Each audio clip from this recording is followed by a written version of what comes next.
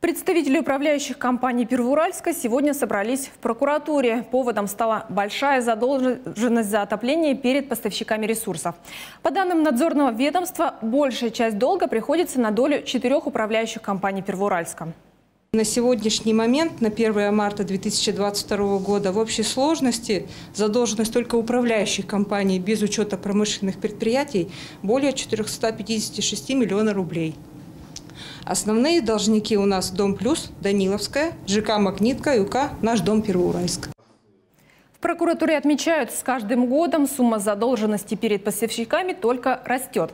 Например, к окончанию прошлого отопительного сезона она составляла полмиллиарда рублей.